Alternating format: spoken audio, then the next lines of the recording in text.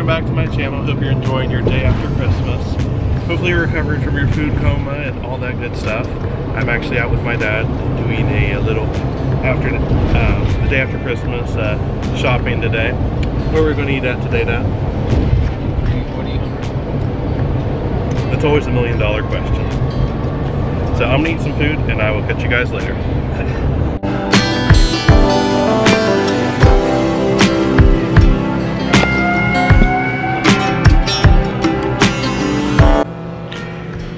so apparently I went to Target earlier. They didn't have anything, so I'm actually here at Lowe's right now. So, of course I'm in the plant section. no surprise there, that's where I usually go. It just seems like stores don't have the same like overflow that they used to have, you know, just with buying up items and all that jazz. I'm not seeing anything I could live without, to be honest with you.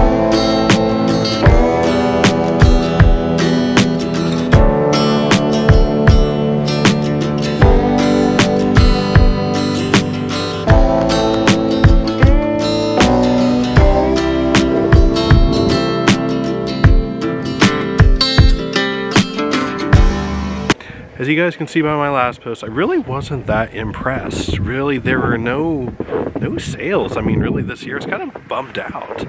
So I guess question of the day, the day after Christmas, what do you guys normally like to do? I mean, do you, do you like to normally go, you know, find sales at the store when you can find them at least, you know, or just kind of what does everybody do?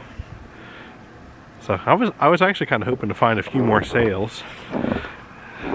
But on a side note, you can definitely see it's snowing out here where I'm I'm at again. So apparently we're supposed to get a couple more inches of snow tonight. So I hope it's not doesn't come with ice like it did the other day because uh, that was not uh, that was not that was not good the other day. So, but yeah, I wish I could have did a little more for this vlog. I feel like I was really boring uh, today for this vlog, but uh, but yeah. So, but yeah, it's uh, I'm really someone I don't I don't like to do too much, you know. I don't like to be, you know, too overwhelmed and busy. But yeah, I like to usually keep my holidays pretty low key. So, all right, guys, I'm signing off. So I will see you on the next vlog. Take care, guys. Bye bye.